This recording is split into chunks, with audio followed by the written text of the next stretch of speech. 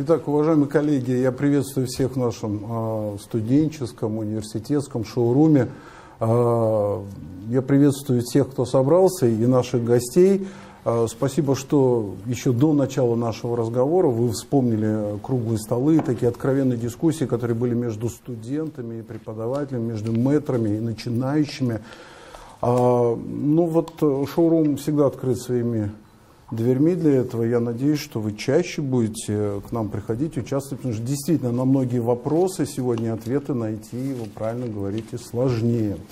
И вот на, на группу вопросов, бесконечную группу вопросов, которые сегодня волнуют все общество, а молодежь не только волнует, еще и тревожит во многом, да, нам помогут ответить люди, которые и профессионально это знают, но и просто в силу своего жизненного, профессионального, политического опыта а, имеют достаточно устойчивые позиции, мнения по поводу того, что происходит в стране и вокруг нашей страны. Я с удовольствием представляю а, всем собравшимся наших сегодняшних спикеров. Это председатель Комитета Государственной Думы Российской Федерации по контролю. Я сразу говорю, смотрите, это э, человек, который возглавлял управление администрации президента Российской Федерации по внутренней политике. Вот кто знает все про внутреннюю политику нашу. Сенатор в течение э, пяти лет, с 15 по 20 годы. Выпускник Казанского федерального университета, известный политолог и профессор Олег Викторович Морозов – и политолог, профессор Наиль Медхадович Мухарлямов. А, как вы уже слышали, из вступительного неофициального слова тоже наш выпускник. То есть кровная связь, кроме всего прочего, нас объединяет. Олег Викторович, украинский кейс, главный, который сегодня волнует и тревожит. А, если позвольте, прежде чем будут э, формироваться вопросы в зале, для общего еще раз понимания, вот скоро три месяца, как началась спецоперация, возможно ли было с точки зрения политики а, избежать вот э, прямого, такого серьезного, вооруженного фактически столкновения между Российской Федерацией и теми силами, я не говорю Украины, там огромное количество сил, которые нашей стороне противостоят. Возможен ли был, с вашей точки зрения, мирный э, поворот событий до 24 февраля? Это сложный вопрос. Э, ну, всегда, когда э, просят э, о чем-то высказаться со слагательным наклонением, всегда возникает проблема.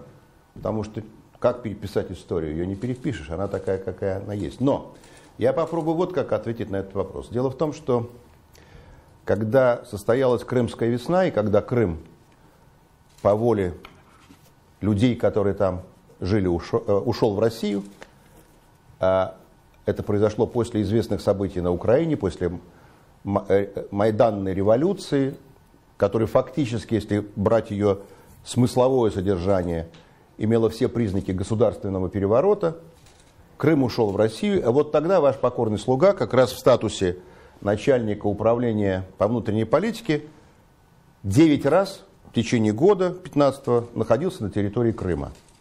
Вот все, что происходило в Крыму в 15 году, это проходило на моих глазах. Все важные политические события того времени, это были события, в которых я участвовал лично, причем не из Москвы, а находясь там, в Симферополе, в Севастополе. И вот тогда одновременно начинались события на Донбассе. Тогда одновременно с мирной эволюцией Крыма в сторону России, в сторону э, значит, э, самоопределения, происходил другой процесс. Попытка силового возврата э, Донецкой и Луганской Народной Республики в лоно Украины, а граждане этого не хотят. Начинается силовое давление, начинаются обстрелы, кровопролитие. И вот тогда многие особенно крымчане, а военные, политики, говорили мне, ну, давайте вот сейчас быстренько решим эту проблему, ну, по какому-то сценарию, по какому-то, возможно. Но не хотят же они жить на Украине. граждане, которые проживают в Донецке, Луганске. Давайте им как-то поможем. И тогда, как вы знаете, началось военное сопротивление киевскому режиму со стороны людей, которые жили на территории этих двух республик. Возникла линия, фронта. Был момент, когда они фактически контролировали территорию всех полностью этих республик. Даже провели референдум о том, что они хотят, не хотят, скажем так, лучше отнеете, не хотят находиться в составе Украины. И вот тогда, когда казалось, что можно было решить эту проблему, э, вы помните, были боестолкновения, дважды украинские войска оказались в тяжелом окружении под Дебальцево, э, и потом был еще Иловайский котел.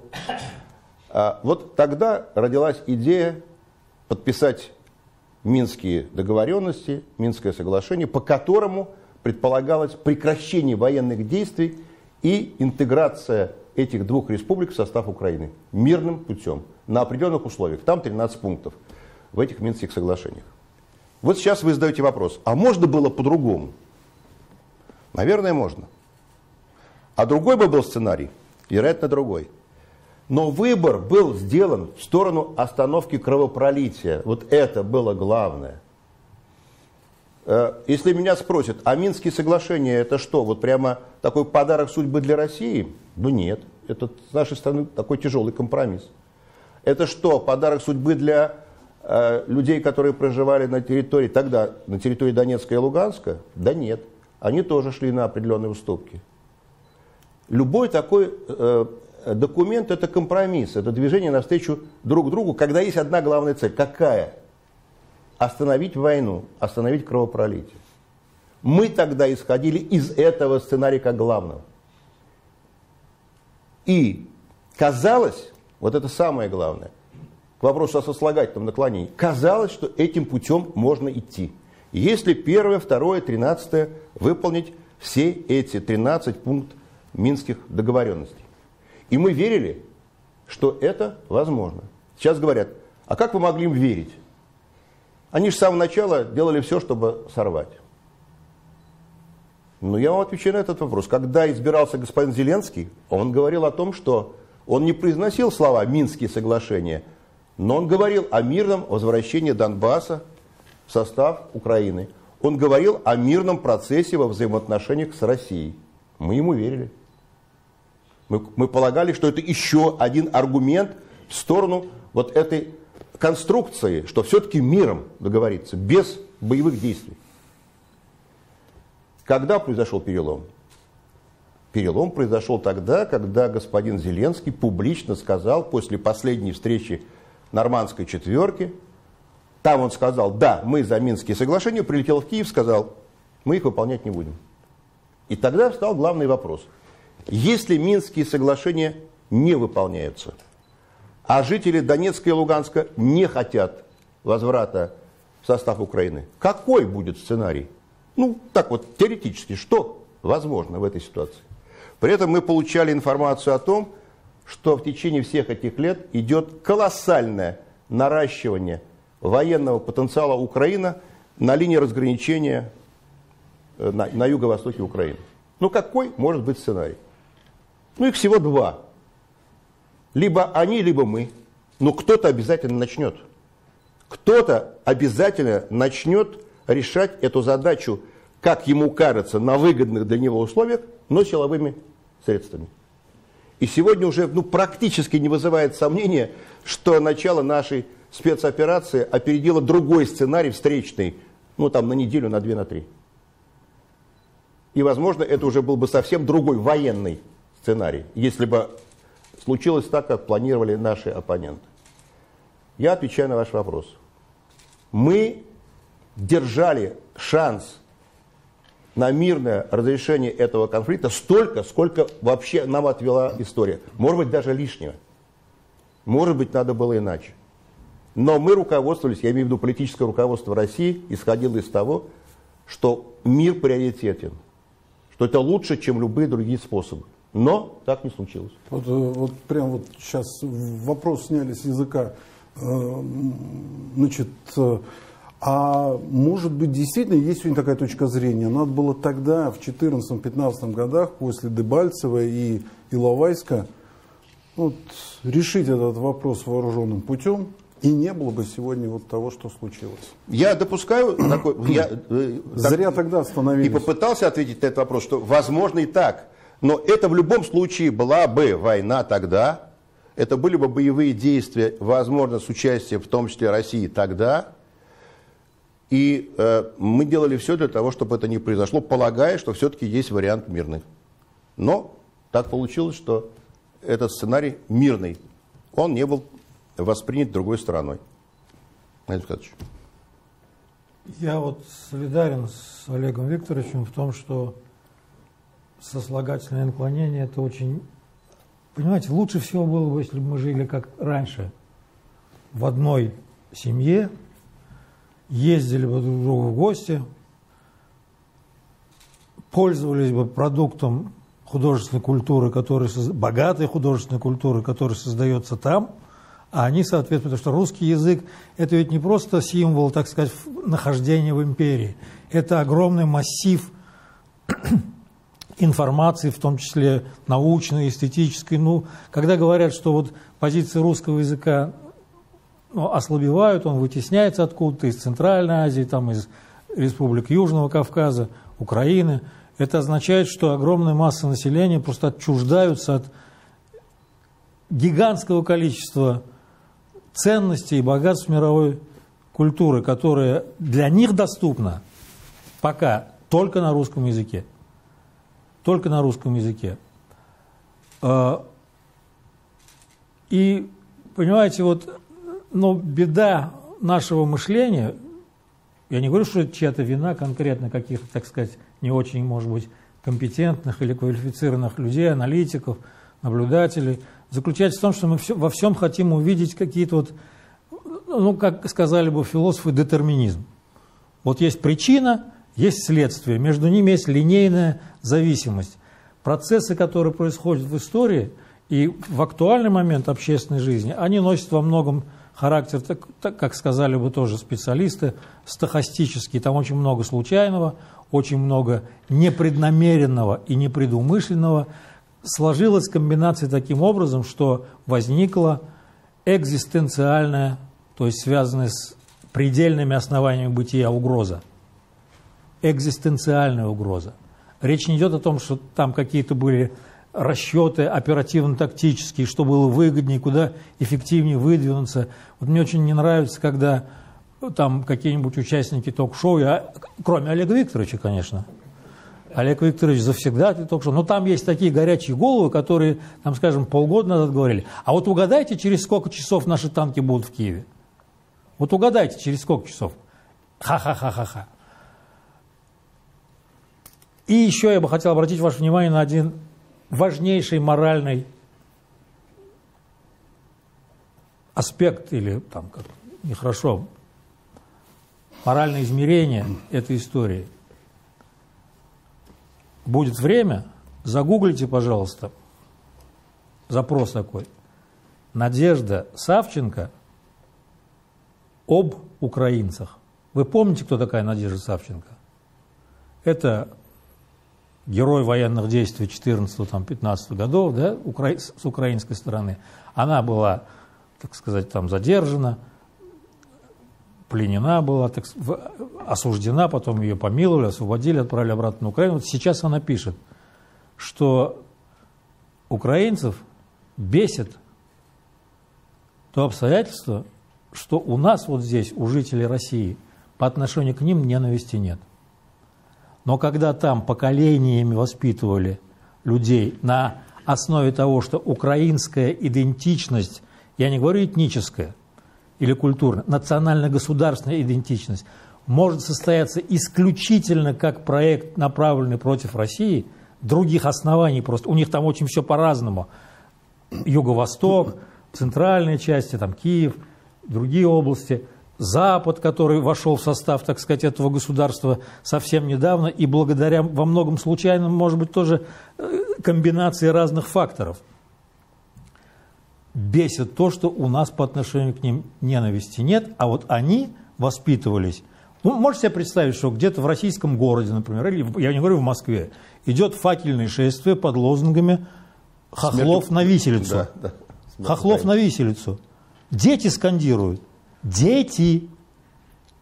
Что этот народ не заслуживает... Э, во-первых, это не славяне. Когда говорят, там нет нацизма, там есть расизм в самых вульгарных формах проявления, когда они говорят, что вот мы настоящие славяне, а вы мордва, перемешанная с тюрками, обрусевшая. Возникает вопрос, что есть разные моральные измерения у всей этой ситуации. Разные очень моральные измерения. И чтобы кто бы ни предлагал, вот есть классическая геополитика там, континентальные державы евразийские, морские державы американские, что они никогда не будут жить в мире. Есть цивилизационные какие-то объяснения. Объяснительных процедур может быть, так сказать, или схем может быть очень много. Но вот эта моральная составляющая, что мы никогда в своей истории не складывались на почве расовой, какой угодно, религиозной нетерпимости по отношению к соседним народам, это факт, который просто никто не сможет опровергнуть. Просто никто не сможет опровергнуть. Э, нужно учитывать вот это обстоятельство, которое ну, не подлежит никакому. Многие вещи там говорят, вот они врут, а, а вам скажут, нет, это вы врете. А вот есть вещи, которые неопровержимы. То, что никогда бы Россия не стала бы руководствоваться исключительно захватническими какими-то экспансионистскими целями. У России своя философия безопасности, в отличие от, скажем, Америки. Вот э, поскольку вы вспомнили ток-шоу, хочу напомнить, что все-таки у нас еще есть одно отличие от э, тех ток-шоу, которые демонстрируются на телевидении. Э, там не модератор как бы ведет и перебивает, а это прерогатива у нас зала. Поэтому я хочу напомнить залу, что вы можете задавать вопросы. Микрофоны находятся, соответственно, слева и справа по конечностям. Давайте мне только знать, и, соответственно, вот микрофон будет переходить к вам в руки. Ну, там руку поднимайте, чтобы я видел, кто хочет задать вопрос. Пока вот я вижу, рука есть, вы уже передаете микрофон, то есть я... Э, да, да. Я э, то, только одну деталь хотел уточнить. Вы вот про сколько-то часов в Киеве сказали, упомянули. А, а, Олег Викторович, а вот вообще, э, ну, не 70, там, не 90 часов для этого потребовалось, а вообще есть тревога в обществе, действительно ли все идет по плану? Слушайте, я ведь не, не являюсь э, военным экспертом, э, не двигаю на карте военных действий какими-то дивизиями, ну, вот, полками. тревожность у вас есть а, или что-то? Да, есть. Как у любого нормального человека есть. Я бы хотел, чтобы все было быстрее то же время у меня есть знакомые, достаточно близко я их знаю, которые там находятся. И которые мне рассказывают, как там все это происходит. И, и если бы я им сказал, ребята, а может вы как-то там побыстрее, то они скажут, может ты сам съездишь там это, сядешь за рычаги танка или там э, за штурвал самолета и сделаешь быстрее. А, это не только непрофессионально, даже с этической точки зрения э, очень, я бы сказал так, э, э, сомнительно пытаться, когда люди воюют, рискуют жизнью, говорить им как надо. У меня такого права нет, ни морального, ни профессионального. С другой стороны, я понимаю, чем определяются темпы. Вот это я понимаю. Темпы определяются только одним и основным главным. Идеей сбережения людей. Наших солдат и офицеров, мирных граждан с той стороны. Если бы война шла по-американски, но это уже сегодня просто общее место, да, мы с вами эти сценарии видели, просто, ну, они, они описаны, они на съемках, они э, там на картах, когда, значит, сначала ковровое бомбометание, ни одного живого человека, потом заходят э, танки и пехота. И сопротивляться уже некому, потому что живых нет. Ну такая война, да. Я не знаю, там есть, наверное, статистика, а сколько убитых, реально живых, э, э, убитых людей в, э, в той же Раке. Знаете, я недавно... В Ираке в целом? В Ира... Да, в Ираке в целом около миллиона. Если в Ираке в целом за время американской операции и пост событий. Я недавно, знаете, к своему стыду с историческим образованием узнал фантастическую цифру.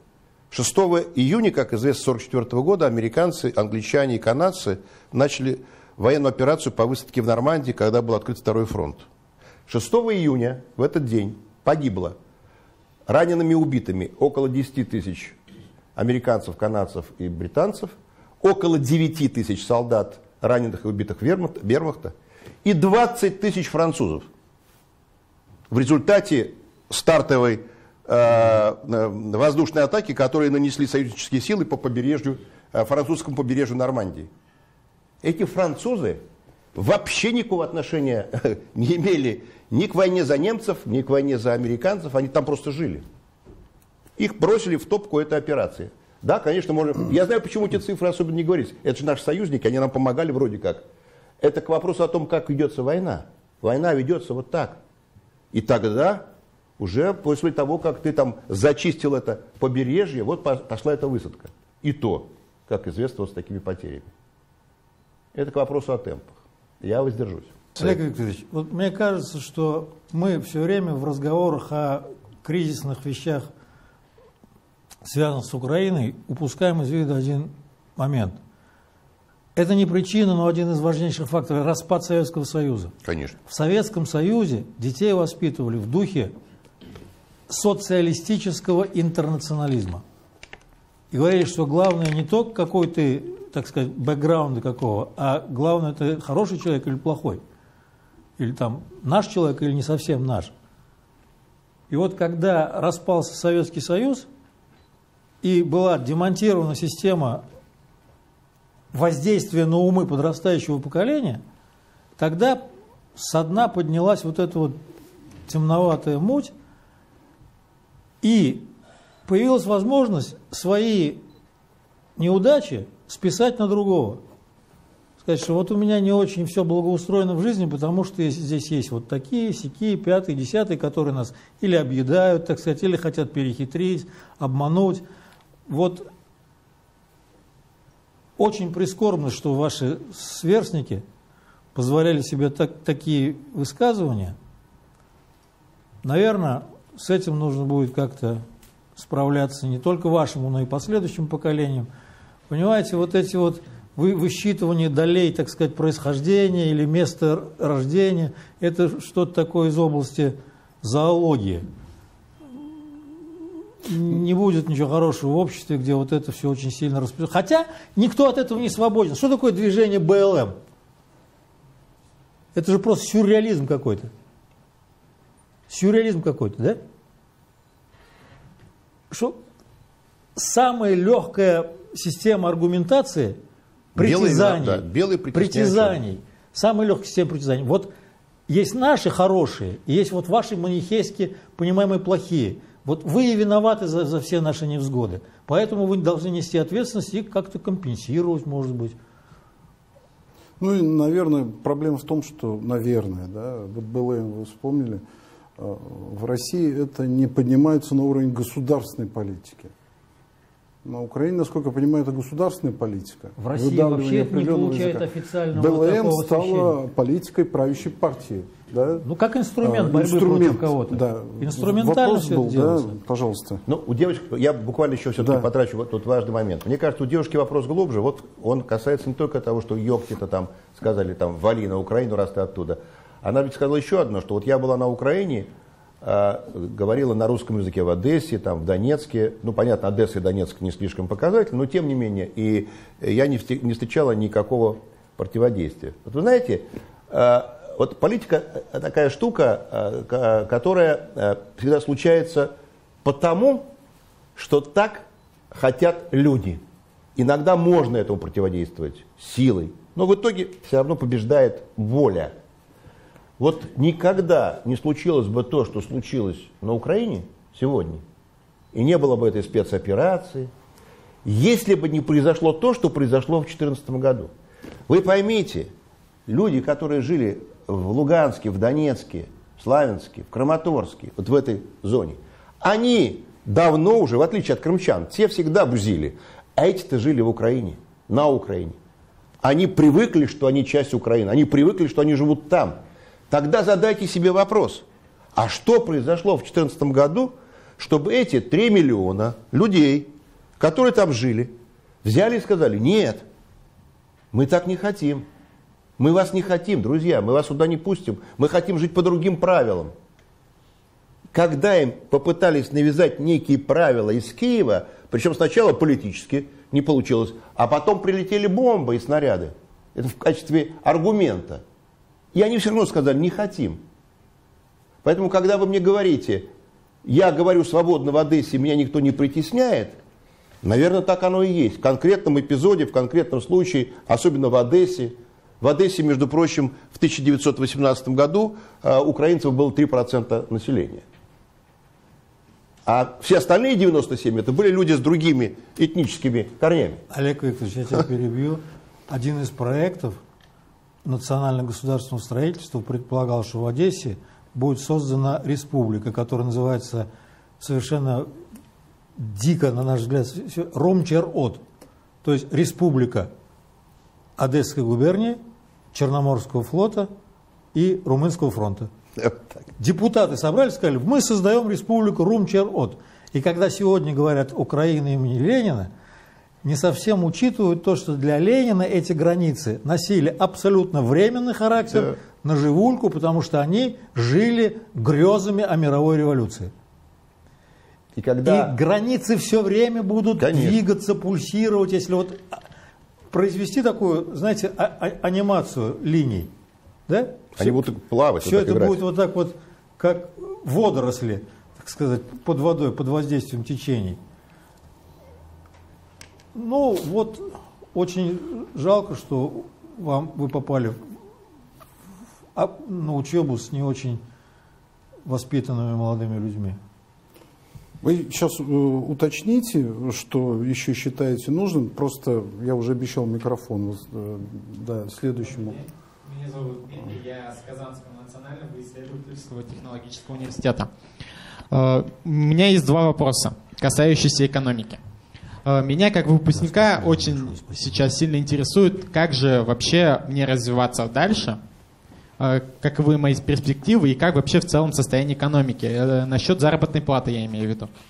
Э, меня как молодого специалиста и в дальнейшем карьерного роста.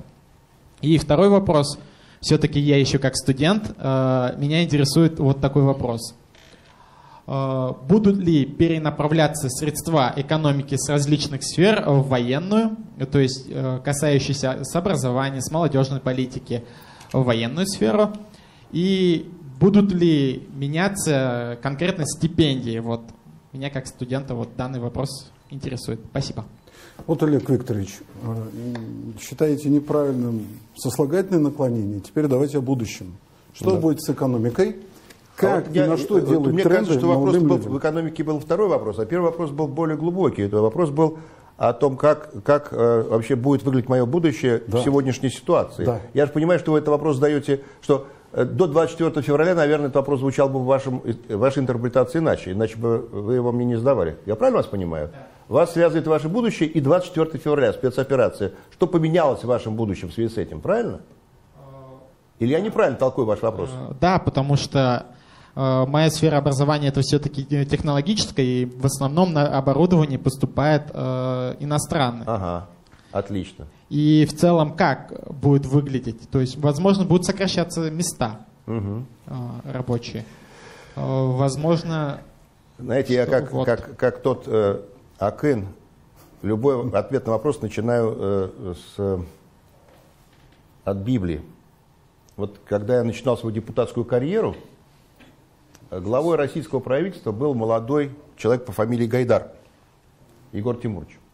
И однажды он выступал в российском парламенте и сказал, что мы вообще неправильно строим экономику, потому что мы вкладываем деньги в убыточные сегменты, Тогда, когда эту продукцию можно запросто и дешево купить за рубежом. Ну, например, у нас сегодня все производство сахара в стране убыточное. Зачем нам вкладывать деньги в сахарную отрасль, когда сахар можно купить в Китае? Дешевле, чем в России производить. Давайте кончим эту сахарную отрасль и начнем покупать сахар в Китае. Китай нам его продаст дешево. Я вам это рассказываю к тому, что вот, э, это имеет прямое отношение к 24 февраля. Вот вся наша экономика, вся наша система мироощущения была, к сожалению, построена в эти 30 лет по тому принципу, который завещал нам Егор Тимурович Гайдар. Мы поверили в это мировое разделение труда, и вы поверили. Видите, вы задаете вопрос, как я буду дальше э, реализовывать себя как специалист, когда э, французы не поставят нам теперь в условиях ВСУ, в условиях санкций, то оборудование, которое они нам раньше поставляли, а на этом оборудовании производилась продукция, оборудование, станки, э, на которых я должен как специалист работать, я технарь. А вот вопрос вам встречный. А это все хорошо? То, что наша экономика была заточена эти 30 лет таким образом, что у нас теперь нет того, того станка, на котором вы хотели бы работать, который мог бы сегодня работать без вот этого французского, условного французского э, трека. В этом и проблема. Знаете, я иногда думаю, может быть, надо было придумать это ВСУ, э, э, СВО, для того, чтобы э, понять, что сухой суперджет, наш базовый лайнер, состоит на 80% из импортных деталей. И если завтра нам скажут, что ни одной из этих деталей мы вам не поставим, он нас не полетит. А это у нас основной гражданский самолет. А чего хорошего произошло, что мы так построили свою экономику? Рано или поздно это должно было случиться. Рано или поздно мы должны были, ну, в каком-то варианте понять, что так Россия, которая страна с 11-часовыми поясами, со всей таблицей Менделеева – жить не может. Не может жить Россия, не имея свой полностью национальный самолет. Вот мы истребители, у нас хватило мозгов иметь истребители, которые сегодня не зависят от импортных поставок, или космические аппараты. А гражданских нет. А много из того, что вот сейчас на вас одето, произведено в Турции, в Китае, Бангладеш, еще какие вам развитые страны назвать? Шри-Ланка, Вьетнам, Камбоджа – а башмаки на вас вьетнамские. Да? И они лучше, чем российские. А вам не смешно? Мне смешно и грустно. Я к этому к чему? Насчет вашей реализации. У вас потрясающий шанс. Слава Богу. Или Всевышнему, или Аллаху, как хотите. Что вы входите в большую жизнь как специалист, когда ваш работодатель, страна в целом, политическая элита, менеджмент, весь наш бизнес – осознал, что так развиваться, как мы развивались раньше, нельзя. Поэтому, наверное, у вас будут трудности, как у специалиста. А возможно, вам предстоит изобрести и создать ту продукцию, которую сегодня мы за большие бабки покупаем у немцев, у итальянцев, у французов. Вот это очень стыдная история. Мы после войны в 1959 году запустили спутник, как известно, а в 1961 отправили, отправили в космос Э, э, первого человека. Нам никто не помогал не делать ни спутник, э, ни, ни, ни космический аппарат, до которого полетел Гагарин. Но мы же сделали. Так вот, это первая часть вашего вопроса. И вторая. Не будут ли все деньги перенаправлены на войну? Нет, не будут. Россия не может так существовать. Ни как страна, ни как экономика. Не может. И мы проиграем любую войну, если мы будем деньги направлять на войну мы должны деньги направлять в образование для того, чтобы хорошо воевать. Мы должны деньги направлять во все другие сегменты, в социалку, потому что вы должны нормально учиться, у вас должна быть хорошая стипендия. А иначе плохо не будем э, э, иметь то, чем надо воевать. Понимаете? Вот мы сегодня, маленькую тайну вам открыли, лет на 10 опередили мир именно в этом сегменте. Я до сих пор не, не имею ответа, как это произошло, но в сегменте современного вооружения мы лет на 10 впереди всего мира. Все, что летает и стреляет у нас сегодня, лучше с лагом примерно 10 лет. Калибры, кинжалы, посейдоны, сарматы, ну там и много других красивых названий, которые вы знаете. Это все самое лучшее в мире. И это наш шанс.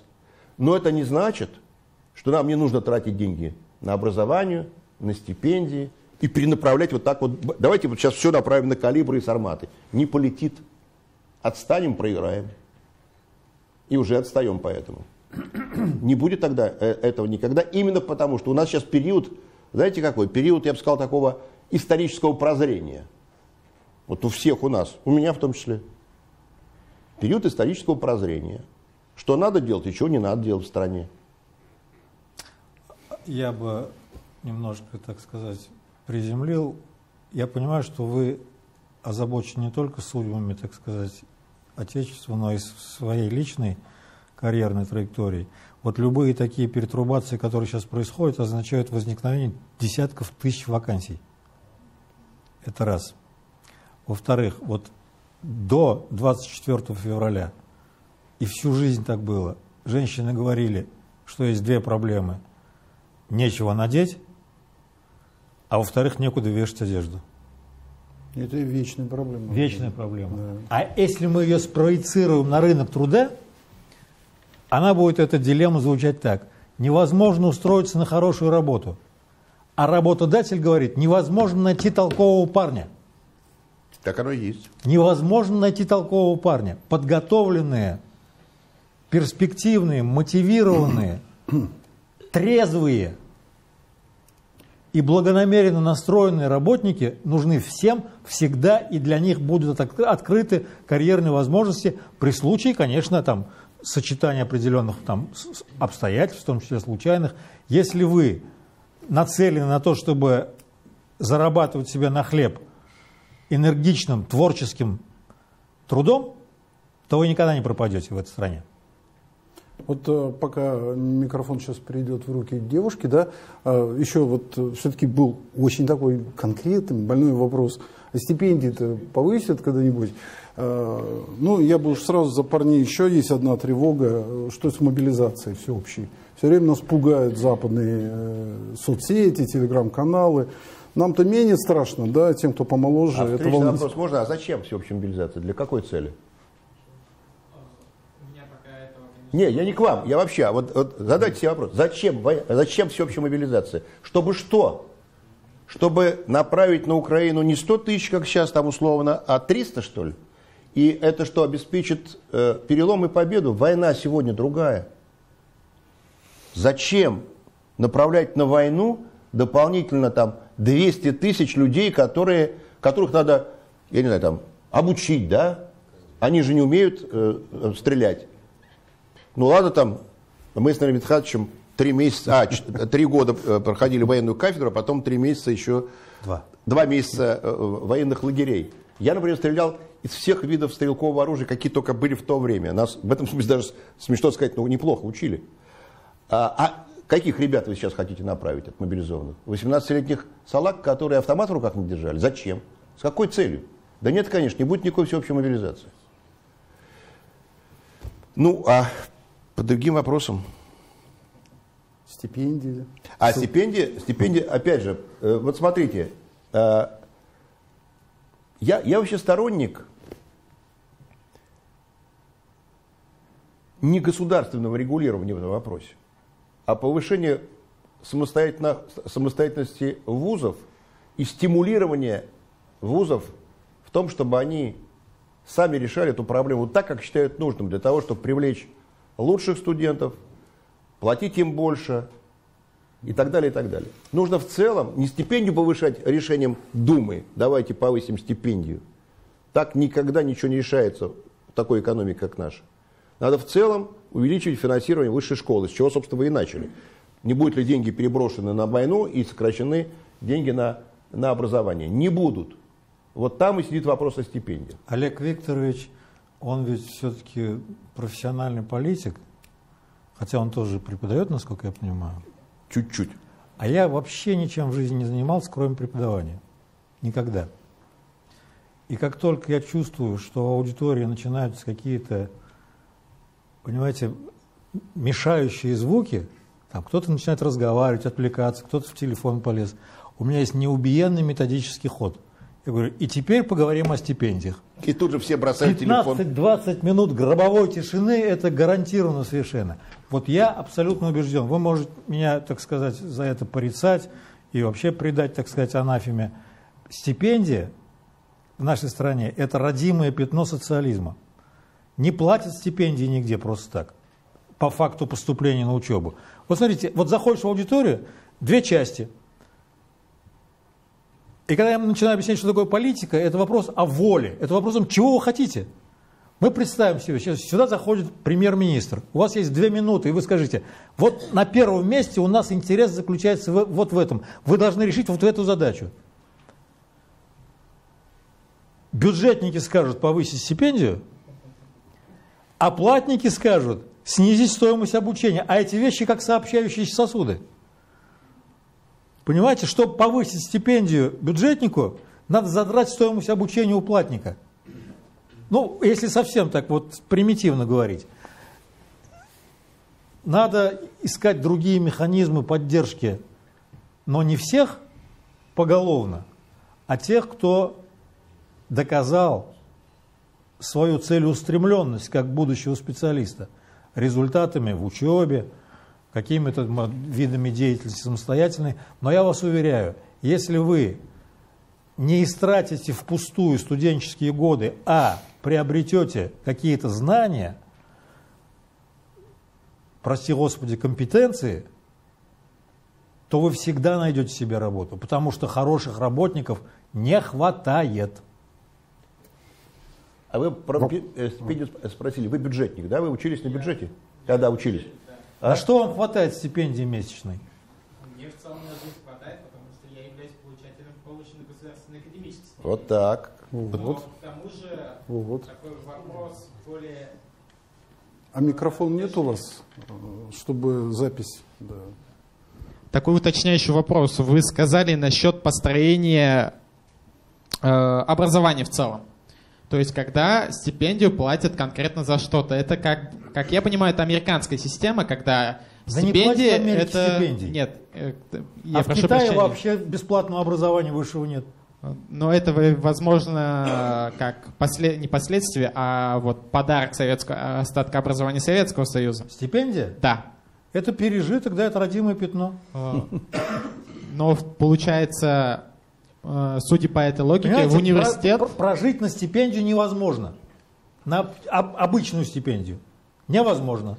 Согласен. Значит, она имеет символический смысл. Это государство демонстрирует вам, что оно о вас заботится. А может, лучше бы оно предоставило вам хорошие льготные кредиты, и когда бы вы сами решали, сколько истратить на какие нужды, так сказать, квартиру снять или там э, пищу покупать более качественную, чем чем в каких-нибудь там столовых и так далее. Но не решает стипендия поддержания жизни студента. Не решает. Это вопрос символический. Раз я получаю стипендию, значит я занимаю более высокую ступеньку в иерархии успешности. Вопрос давайте. Меня зовут Диляра, я студентка Казанского национального исследовательского технического университета имени Туполева КАИ. У меня появилось несколько вопросов. Первый из них это, безусловно, никто не сомневается, что исход военной операции будет для России положительным. Произойдут ли какие-то глобальные изменения в общении с другими государствами? Изменится ли политика Запада, ну даже не брать Запада, а мира против России? Второй вопрос – это сейчас, на данный момент, если посмотреть на Украину, то выделяются огромные деньги, несмотря на, даже на США, а вот брать Великобританию, там недавно говорили, еще миллион фунтов выделили. США на данный момент посчитала более 50, 53 миллиардов долларов. Вот как вы считаете, кто вообще будет возвращать все вот эти деньги? Потому что понятно, что они не просто так даются. Даже ленд-виза, которая сейчас одобрили в США, она тоже платная. И третий вопрос. Считаете ли вы, что когда-то ли распадется НАТО, какие-либо будут ли последствия распада НАТО, и может ли НАТО объявить политику закрытых дверей? Ну, то есть не как сейчас, открытых.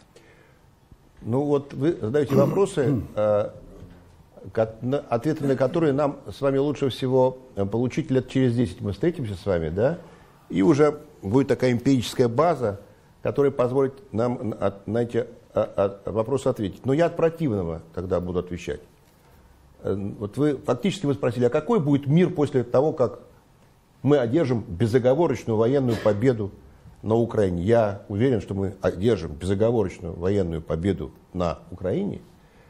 И эта безоговорочная военная победа на Украине будет означать следующее. Я даже однажды публично это сказал, надо мной даже немножко посмеялись. Я сказал, что вообще специальная военная операция России на Украине – это принуждение Запада к переговорам о конструкции будущей безопасности в мире. Нам не нужна Украина, нам не нужна территория Украины. Э, ну, нам нужен, конечно, другой режим, скажем так, режим взаимоотношений иной с Украиной, чтобы нам оттуда не сходила угроза. Но как таковая Украина, вот как, как страна, да, э, там какие-то приобретения экономические, политические нам не нужны. Мы там решаем другую, глобальную задачу. Мы там решаем задачу безопасности наших, нашей с вами, ну уж тем более ваших детей, внуков и так далее. Вот это глобальное переустройство мира, которое началось в результате конфликта на Украине. Этот процесс сейчас не остановить. Вот даже если военная операция по каким-то причинам прекратится, представить себе, что мир просто откатится на рубежи там, до 24 февраля, я не могу. Все, он уже другой. И нам никто, ну в кавычках, не простит этого, нас никто никогда не пожалеет, никто никогда не отменит санкции, потому что мы пойдем на какие-то уступки. Если мы на них пойдем, санкционное давление, военное давление будет в, на, в разы просто сильнее. Нас в порошок сотрут. Поэтому никакого варианта у нас нет. Мы должны довести эту операцию до победного конца, а потом принудить тем самым Запад к разговору с нами. Они должны понять, либо Россия будет чувствовать себя в безопасности на каких-то правилах и принципах, либо будет уменьшаться уровень безопасности для Запада каждый день. Вот другого варианта никакого нет. Либо вместе к безопасности, либо вместе к понижению этого уровня безопасности. Вам будет жить, уважаемые французы, немцы, американцы, британцы, австрийцы, страшнее и опаснее с каждым днем если вы не пойдете навстречу нам на уступки? Вот ответ на ваш вопрос. Как будет устроен этот мир? Ну, определенные принципы понятно. Давайте сделаем так, чтобы ядерное оружие было на территории только страны-производителя.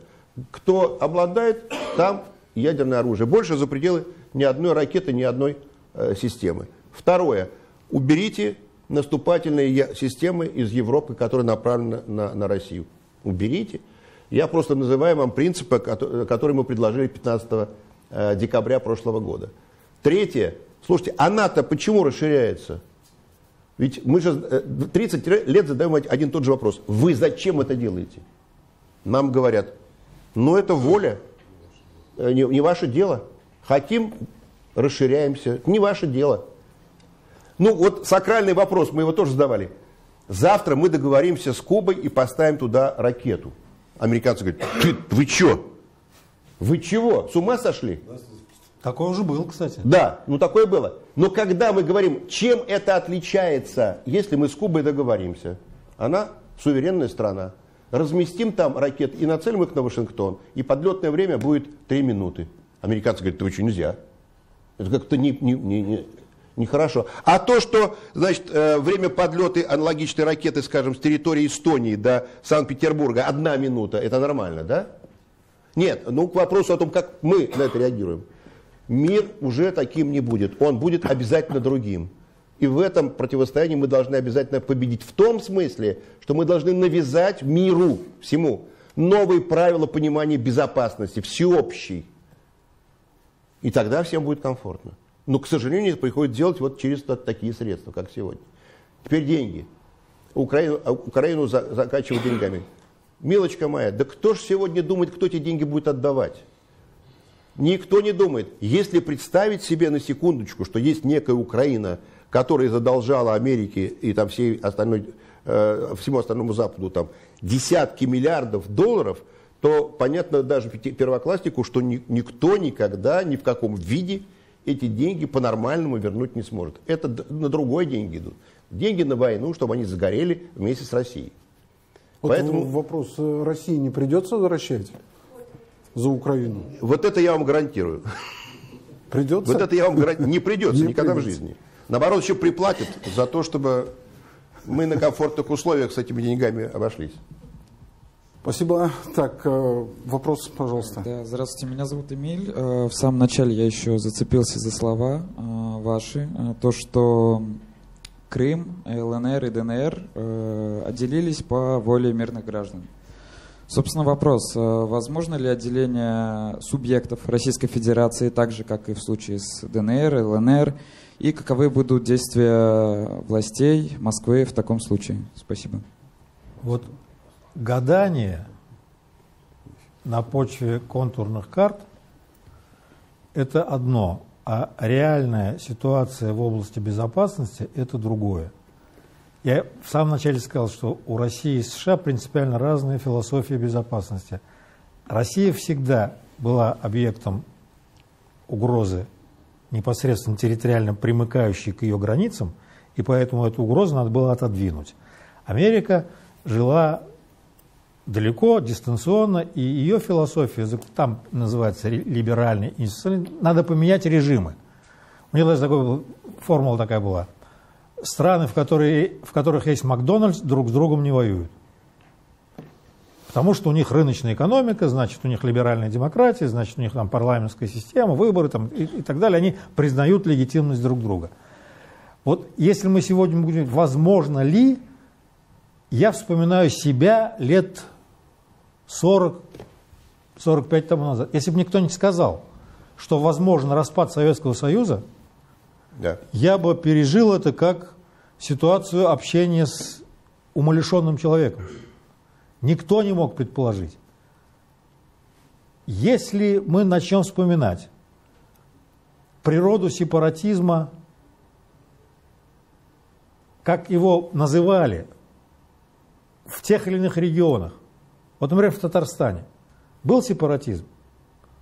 Не было никакого сепаратизма. Были настроения довольно узкой группы людей.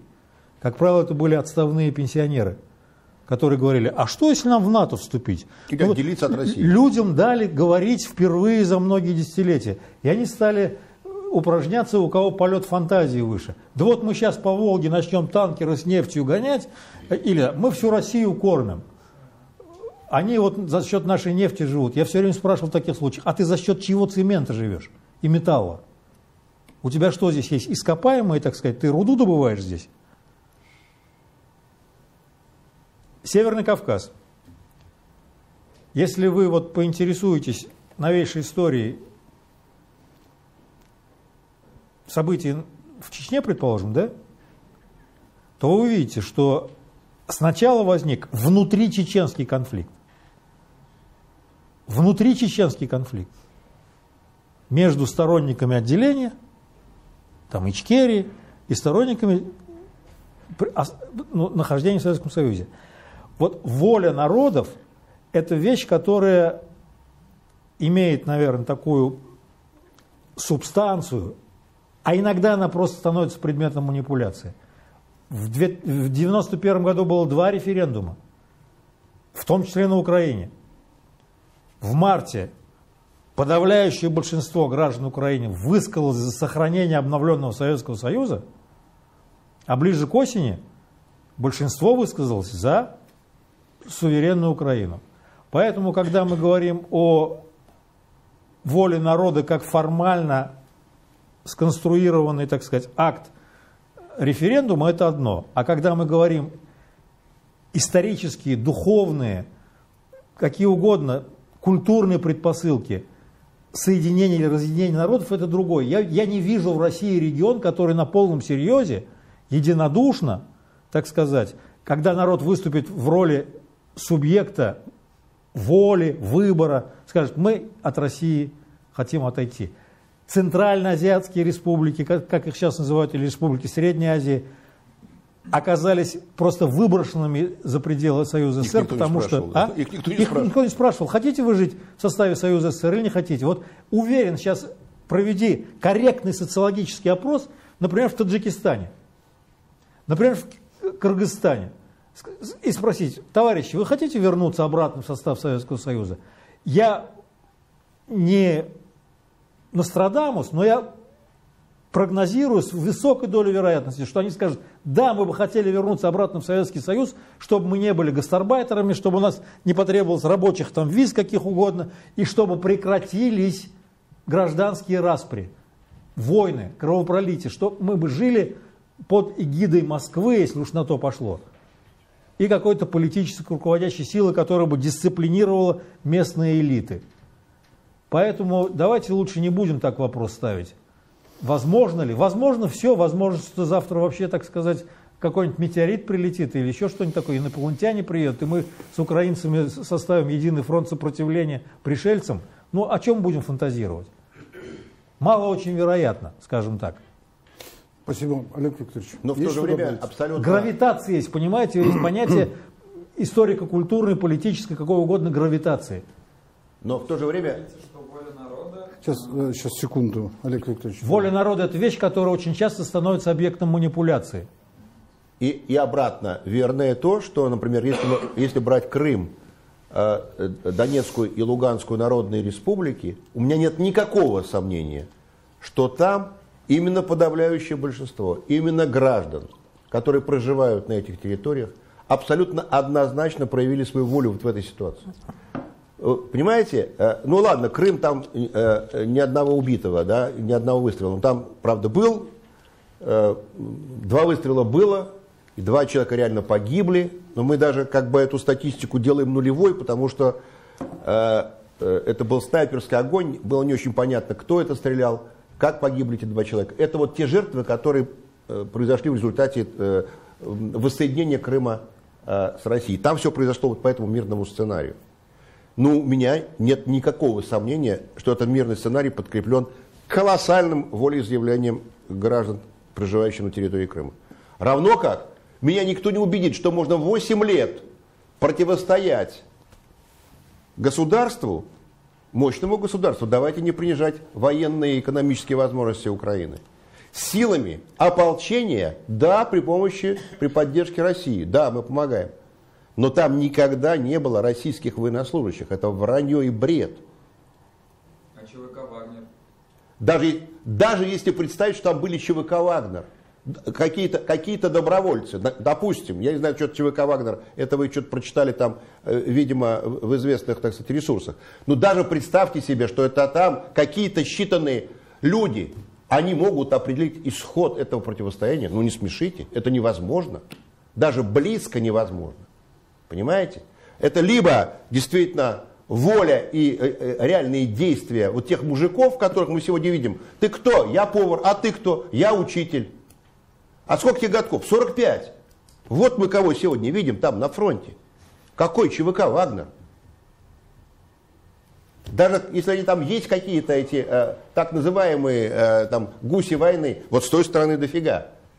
Но даже если представить, что там были эти 8 лет какие-то наши добровольцы, вы всерьез можете себе представить, что они определяют судьбу Дебальцева, Иловайска, вот этого восьмилетнего противостояния вот на такой линии фронта? Это невозможно по определению. Понимаете? Да это было проще всего послать ЧВК Вагнер в восьмом году в Грузию. Да. Там до Тбилиси оставалось доехать по прямой. И сопротивления никакого не было. Так не бывает, так не бывает в истории, следующий понимаете? вопрос, пожалуйста. Добрый день, меня зовут Никита, я позываю- занимаюсь развитием студенческого спорта, и у меня вопрос очень сильно сопряжен с тем, что происходит. Вы говорили э, до этого, и в принципе все говорят о том, что времена турбулентности, они очень сильно связаны с какими-то кадровыми решениями, и очень сильно, как мы сейчас увидели, особенно после так называемого губернатора ПАДа и прочего, что ну, многие российские чиновники оказались не способны к действительности турбулентности. Вы у себя в телеграм-канале написали э, как раз про Рубин Казанский, который вылетел в футбольную национальную лигу. Вы написали, нужен серьезный разбор полетов. Игры нет, результат закономерен. Если мы посмотрим статистику, это не только футбольный клуб Рубин провалился, провалилась вся молодежь Рубина во всех чемпионатах, ЮФЛ, М-лига, они заняли последнее место из всех возможных. 14 из 14, 10 из 10. Хоккейный клуб Акбарс впервые в истории в своей, ну, последней, вылетел в первом раунде Кубка Гагарина. Э, работа с клубом, ну, была тоже на очень низком уровне. Э, волейбольный клуб «Зенит», э, Уникс баскетбольный, гордость нашего татарстанского спорта, тоже полностью провалилась во всех своих турнирах. Каждый год у нас было, что какой-то клуб казанский где-то что-то выигрывает. В этом году полный провал. Полное отсутствие работы какое-никакое с болельщиками абсолютно везде. Ни одного баннера, кроме граффити напротив э, Татнефть-арены, связанные с нашим профессиональным спортом, в Татарстане отсутствует. То есть, когда люди приезжают в Казань, ничего не видят о том, что происходит в спорте. Соответственно, возникает такой вопрос. Э, вот вам, как человеку, который родился в Казани, как человеку, который болеет за Рубин, полагаю, не кажется ли, что пора сделать выводы о компетенции министра спорта Республики Татарстан? И что надо сделать, чтобы Татарстан не на бумаге считался спортивной столицей мира, а в условиях турбулентности и в условиях всего происходящего дать действительно оценку тому, тем процессам, которые в спорте происходят? Почему это спрашиваю? Вы можете, конечно, сразу сказать, что нет, это частные клубы.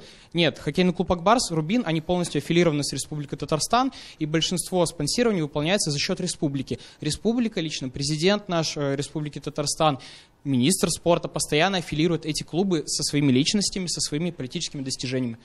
Еще раз повторюсь вопрос, стоит ли сделать какие-то кадровые решения, на ваш субъективный взгляд, и что надо для этого сделать, чтобы действительно в спорте Татарстан не проваливался, как постепенно все он катится, катится вниз за последние годы, а развивался. Так, я, Олег я, я как бывший начальник управления... По позвольте, чуть-чуть да. глобализирую от сложного к простому. А, есть еще больше вопрос. Не кажется ли вам, что многих людей, не говорю большинство, многих людей сегодня следовало бы примерно наказать, в том числе и за провалы того же импортозамещения, которое мы вспоминали, ну и в частности, вот скажем, за провалы в нашем спорте, например, и так далее. Вот вообще эту тему, Меня, кстати... Знаете, зацепило как бывшего начальника управления э, внутренней политики, администрации президента, слова про губернатора ПАТа. Где вы увидели его? Шесть губернаторов, из которых, по-моему, двое по 10 лет находились на своих должностях, подали в отставку. Президент выбрал, вы, при, принял эту отставку. Вообще у нас единый день голосования осенью, и обычно у нас вот как раз в это время, примерно весной, каждый год происходят губернаторские отставки. Именно для того, чтобы появился человек, который исполняет обязанности, и он успел подготовить избирательную кампанию и вышел в сентябре на выборы. Вот как раз здесь сразу, просто чтобы мы разделили мух и котлет, как говорят, никакого губернатора ПАДа в России нет, это точно, все абсолютно штатно. И я видел гораздо большие турбулентности в части губернаторского корпуса, то есть э, в части количества заменяемых, там, по срокам, э, чем это происходит сегодня, когда, э, казалось бы, как раз ситуация достаточно такая острая, и тут можно было бы ожидать более даже радикальных кадровых решений. Их нет. Все достаточно стабильно. Э, вторая часть вашего вопроса, но мне на нее трудно ответить профессионально, я имею в виду по спорту. Я болельщик. Да, вы правы, я болею за Рубин, я в Казани не изменяю, живя в Москве и работая в российском парламенте, это моя любимая команда. Я помню э, победу над Барселоной, я помню ничью на стадионе здесь. Я как раз был здесь, когда мы сыграли в ничью э, с Барселоной 4 ноября, в день иконы Казанской Божьей Матери, когда татарин значит, э, Исхаков, мэр Казани тогдашний, когда на первых минутах Барселона не попала в упор в наши ворота, он сказал, казанская икона Божьей Матери нас хранит. Когда, значит, испанцы не попали в наши пустые ворота. Не знаю, Все ли зависит от качества личности министра спорта? Э, даже отвечу, скорее всего, что не зависит по одной простой причине. Вот Татарстан – это территория команд. Так было, начиная с Шаймиева. Вот не может быть, что вся команда хорошая, а один министр плохой, э, и вот он уже много лет плохой-плохой, и все дело только, и на его участке все плохо, и, и, и, и поменять это может только один способ, если его поменять. Что-то, видимо, сбой гораздо более системный.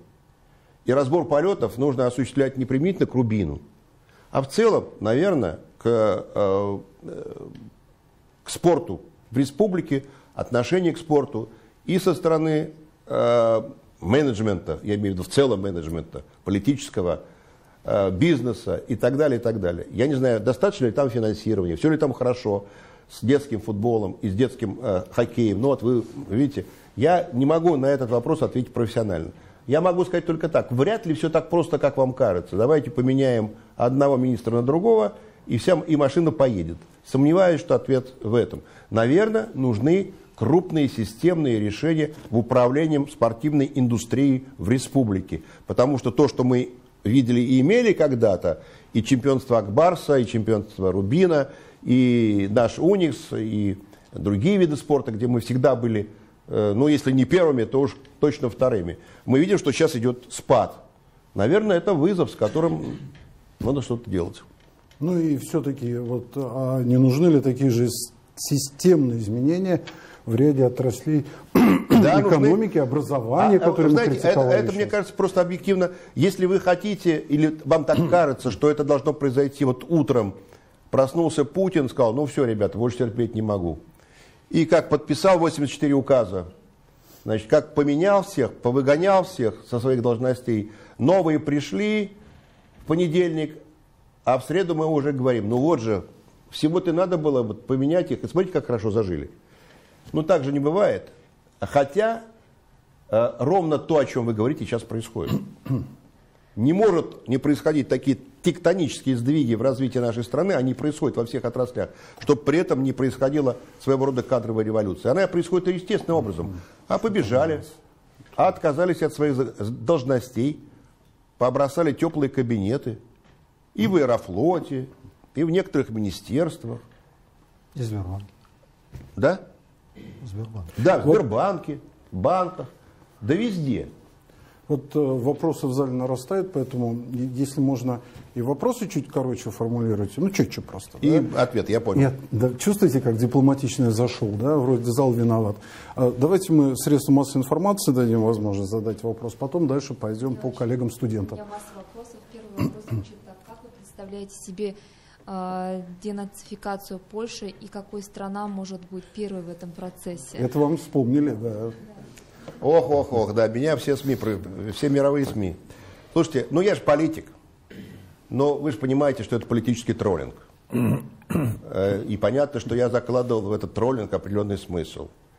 Э, премьер Польши позволяет себе говорить вещи, которые, с моей точки зрения, недопустимы. Ну, просто недопустимы. Вот, может быть, все что угодно. Не любишь ты Россию, ну, шут с тобой. Но ты отвечаешь за страну, ты ее лицо. Говорить такие слова, как депутинизация, э, намекать на силовое устранение России из карты мира политической. Он что хотел, чтобы, не будем так, он что хотел, ничего, а что он хотел, какой он хотел реакции. Ну, например, от меня, как от политика. Э, понятно, что это троллинг. Но с другой стороны, это не только троллинг. Вот я отвечал на вопрос ваш по поводу мироустройства, будущего мироустройства. Вы знаете, в будущем мироустройстве, если представить себе лет через пять а, а, такой сверхпозитивный результат наших действий на Украине и дальше в целом в мире, а, Польша не будет членом НАТО. Или будет членом НАТО в каком-то особом статусе. Мы будем добиваться такого а, военного устройства Европы, который снимет для нас все вопросы для нашей безопасности. И значит, может быть, Польше придется по-иному выстраивать э, правила свои, э, своего военного устройства. То есть какие системы у них будут, а каких не будет. По нашему требованию. Понимаете? То есть мир может так измениться через некоторое время, когда польскому руководству придется принимать политические решения в, в русле денацификации, о, которых я, о которой я намекнул. Я внятно объясняю или не очень? А, внятно, но это предполагает какое-то ведение Нет, конечно. войск? Нет, конечно. Это означает, что когда в результате наших действий мы принудим Запад глобальным серьезным переговорам, наверное, встанет вопрос и о поведении, будущем поведении Польши, как нашего ближайшего соседа. Можно и нельзя. Вот сегодня на территории Польши стоят ракеты, которые в течение одного дня из оборонительных превращаются в наступательных и достают до э, до Подмосковья. Это хорошо или плохо для нас? Как вы считаете? Ну, плохо, наверное. Мы с этим смиримся в будущем? Нет. Мы попросим, чтобы у них этих ракет не было. И так далее. А вчерашним решением президента Украины об особом статусе да? поляков, с вашей точки зрения, не начался захват Украины со стороны Польши? Может быть, он не вооруженным путем, а вот так вот уже начался просто по факту? Ну, я не знаю, э, что за этим стоит реально. Э, я, я думаю, что Польшу тоже могут использовать в данном случае как один из инструментов уже военного давления на нас. Но э, если это произойдет, э, то я предполагаю, что военно-технический ответ, который мы тогда применим, он будет э, иного качества, нежели то, что происходит сегодня на Украине. Это опасное развитие событий, но я думаю, урок, который будет встречно преподнесен нами, если представить себе, что польские вооруженные силы стали каким-то образом участвовать в этом конфликте, он будет очень серьезным. Вот тогда некоторые границы, о которых я начал говорить, когда говорил о специфике угу. наших действий на Украине, они могут быть, пере, пере, пере, как там, мы можем их переступить, скажем так. Спасибо. Э, значит, я очень обещал давно вопрос вот э, не хочется говорить последнему ряду, крайнему ряду. Они далеко от микрофона. Давайте дадим возможность. А, да. Меня зовут а Тимур, а я из Института международных отношений. И вот я хотел спросить, последние переговоры вот начали проходить в Турции. Почему в Турции? Чего добивается Турция за счет э, этих переговоров? И еще, до начала войны Украина являлась наблюдателем э, в организации Тюркского совета. Чего Украина хотела добиться от этой организации? И еще один вопрос. А будет ли новый план Маршала для Украины в будущем? У меня все.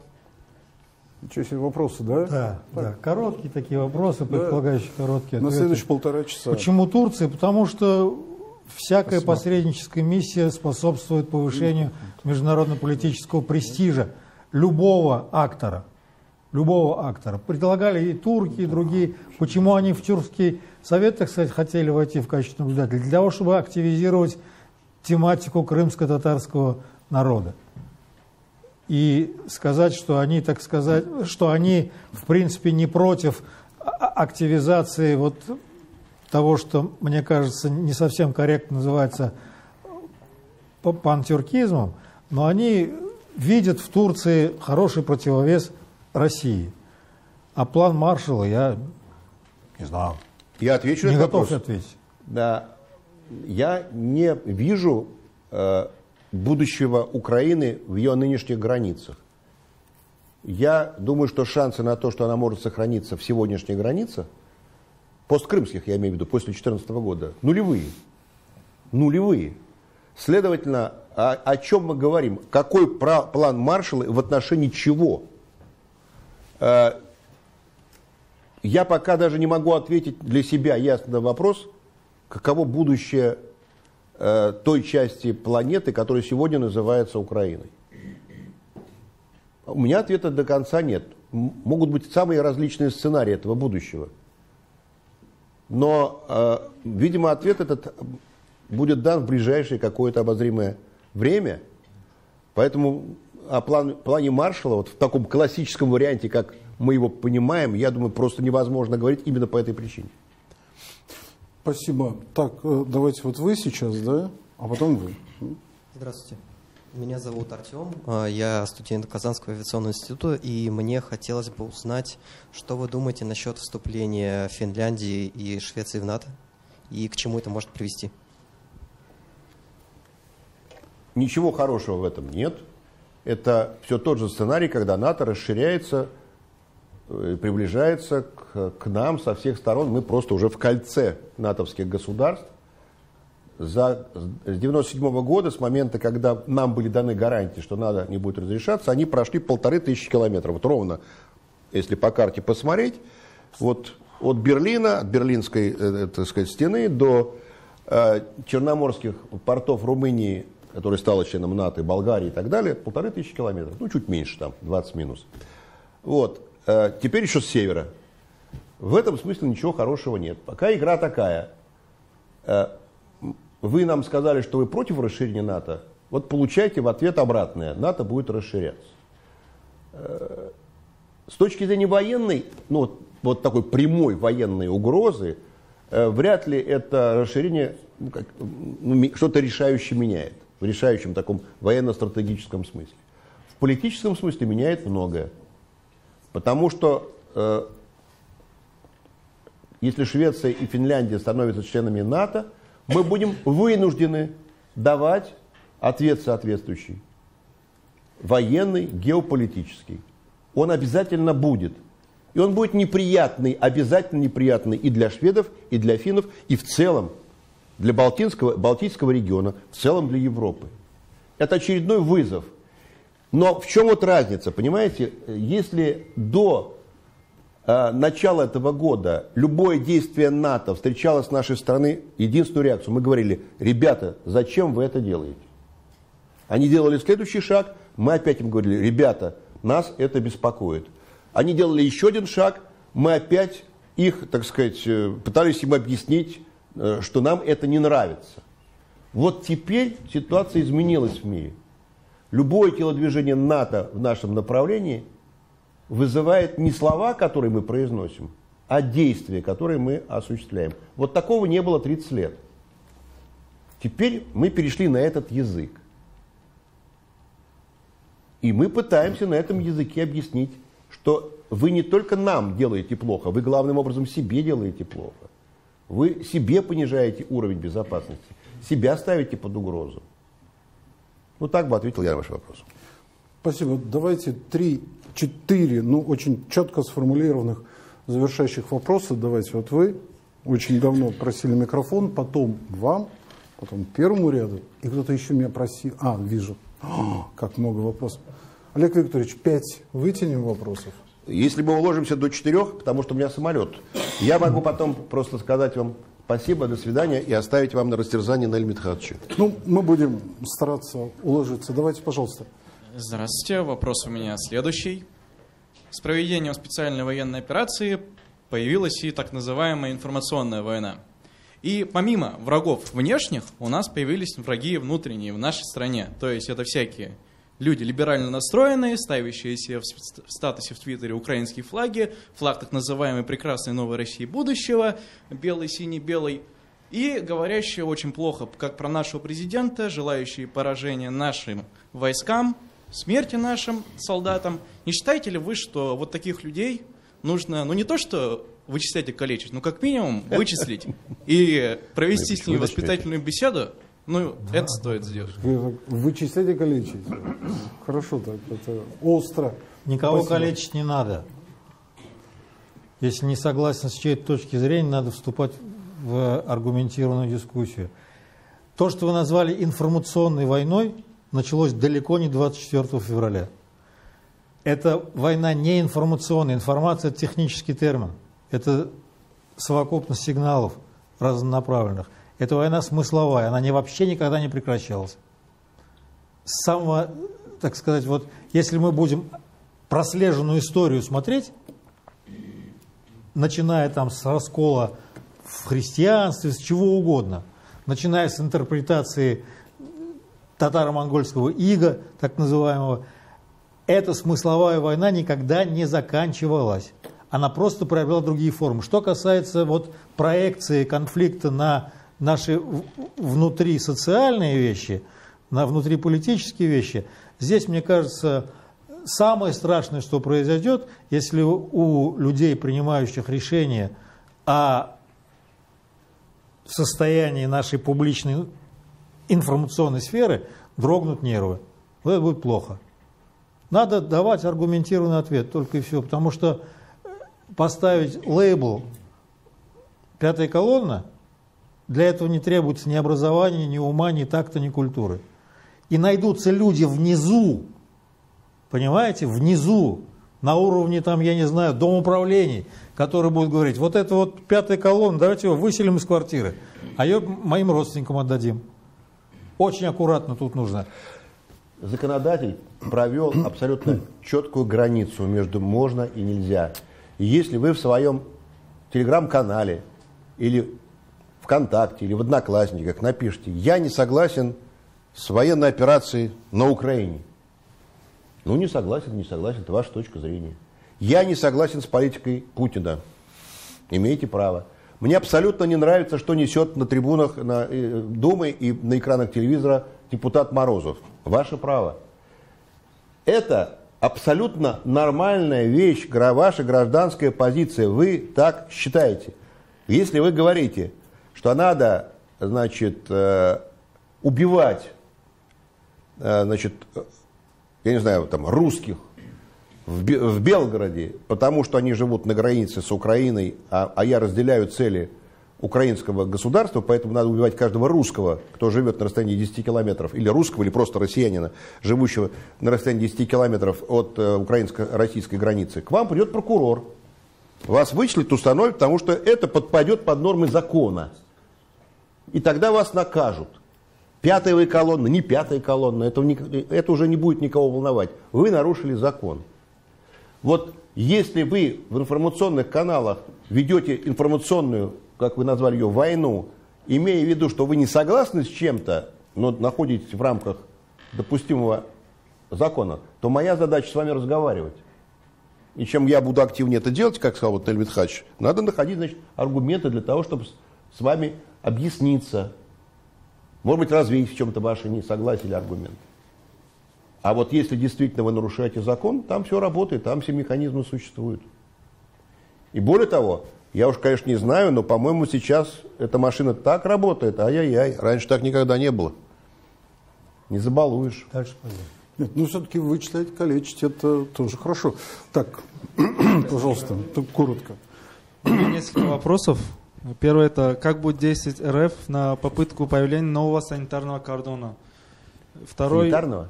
Санитарный кордон. А что это? Ну, между Европой и Россией вы имеете в виду? Да. Второй вопрос. Были упомянуты, что ОДКБ, как и НАТО, будет расширен в ближайшее время, и в него войдут десятки стран. Как вы это... Ваш комментарий. Третий вопрос. Польша, Румыния и Венгрия будут ли претендовать на часть территории Украины как историческую часть этих стран? И последнее. Как Сербия переносит давление со стороны Европы, так как сотрудничает с РФ? И будут ли какие-нибудь объединения или интеграции? Какая? Последний вопрос я не расслышал.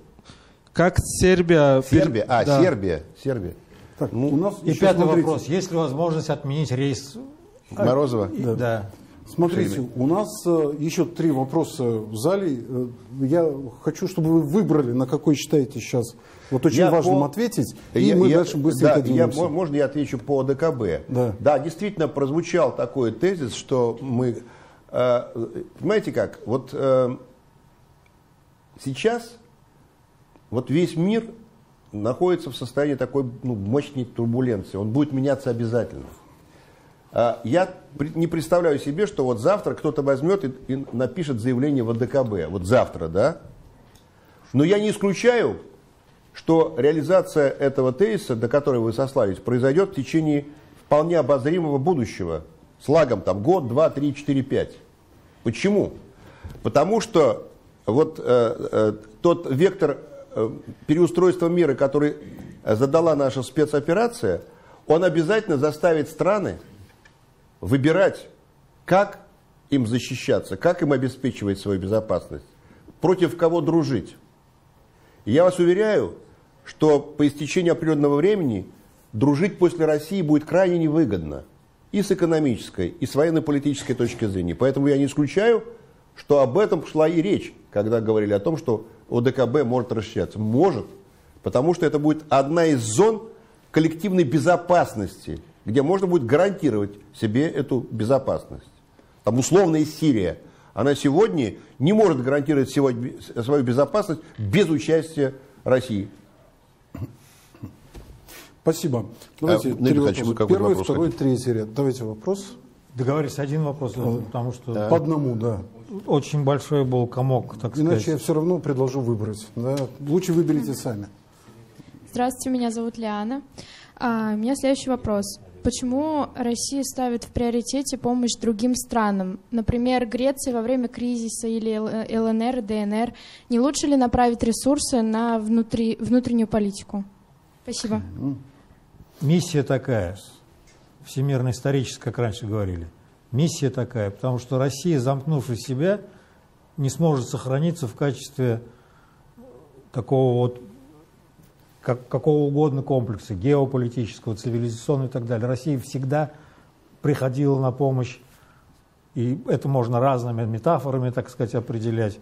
И, и не всегда, так сказать, в, ситуации, когда мы получали благодарность, на которую вправе были бы рассчитывать. Те же Балканы, там, тот, тот, тот, тот же Южный Кавказ. Понимаете, вот эти народы очень быстро забывают, что бы с ними стало, что было бы на территории современной Грузии, если бы она по Георгиевскому трактату не вошла бы в состав Российской империи. Это очень большой вопрос. Ее просто не было. Говорят, история не знает сослагательных наклонений. А тут недавно журналист Денис Драгунский, что какая ерунда, она сплошь состоит из сослагательных наклонений. И очень много таких случаев. Вот, понимаете, империи всегда соседствуют не с какими-то там такими хорошими, красивыми, карликовыми государствами, они соседствуют с другими империями. Всегда была Персия, всегда была Османская империя, есть Китай, кстати, про который, есть Пакистан, про который мы предпочитаем просто не думать и... Огромная страна. Просто не думать. Вот, ну, Пакистан, ну, Ядерная. географическое понятие. Что будет через 50 лет с, роль, с ролью Пакистана, региональной, глобальной, никто сейчас, наверное, кроме там трех-четырех специалистов, экспертов не скажет. Миссия такая – помогать всем. И такой альтернативы нет. Либо-либо. Если мы не помогаем, мы не Россия. Мы так устроены. И два завершающих вопроса. Средства массовой информации и студенты. Давайте начнем. А какое интересное средство массовой информации? Бизнес Для любопытства. Бизнес онлайн. Бизнес онлайн. О. У меня вот вопрос такой. На прогноз МИД Франции о том, что Украина через 20 лет вступит в Евросоюз, вы говорили, что через 20 э, лет не будет э, Украины в той форме, которая она сейчас существует, как и Евросоюза. Тогда что будет с Украиной? Как вы предполагаете, будет ли она в составе России? Читают мой Может... телеграм-канал, и меня же прихватывают этим. Да, да. А нечего троллить, Олег Викторович. Да. Вот что будет с Украиной? Она войдет в состав России, как вы предполагаете, и что будет с Евросоюзом? Я сказал ровно то, что я сказал. Вот это я подтверждаю. Я уверен, что через 20 лет Украины в том виде, в каком она сегодня существует, не будет.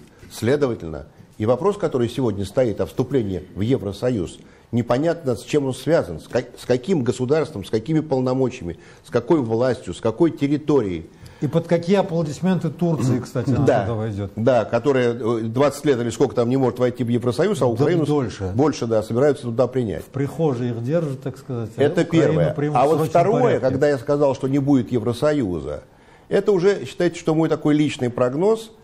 Э, мне кажется, что Евросоюз действительно как организация находится в колоссальном э, кризисе, который будет усугубля, усугубляться ровно по мере тех процессов, которые будут происходить дальше в мире. Вот по мере того, как будет выстраиваться новая архитектура мировой и европейской безопасности, на мой взгляд, объективно будет меняться и статус Евросоюза. И, возможно, э, его э, юридическое оформление, возможно, членство в этой организации. Считайте, что это мой прогноз, что Евросоюз в нынешнем виде в течение 20 лет не сохранится. Он будет трансформироваться. Следовательно, это ответ на вопрос, куда должна вступать Украина. Какая Украина и куда? Какая будет Украина? Я сказал другая. Это, это уже следующий вопрос. А, а вдруг Евросоюз захочет вступить в Россию к тому моменту? А, давайте завершающий вопрос. Здравствуйте, меня зовут Инсаф, я студент первого курса. И такой вопрос. Как вы считаете, какие специальности будут востребованы в ближайшие 5-10 лет и нам, как молодежи, студентам, куда стоит развиваться? Это вопрос вкусовой. Такой Я вопрос. вам точно могу сказать, что тех вещей и тех видов деятельности, которым вам придется заниматься по окончанию университета, еще не изобрели. Очень все быстро меняется. Водородная энергетика. Вот такая и вещь. И когнитивные науки.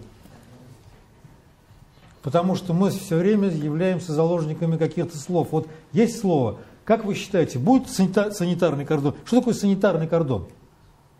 Это метафора. Мы поэтому не поняли с самого начала. Это да. метафора. Это то, что относится ни туда, ни сюда и обеспечивает какую-то ну, взаимную изоляцию. Уже нет никакого санитарного кордона. Вот есть наш союзник Белоруссия, который граничит с государством НАТО.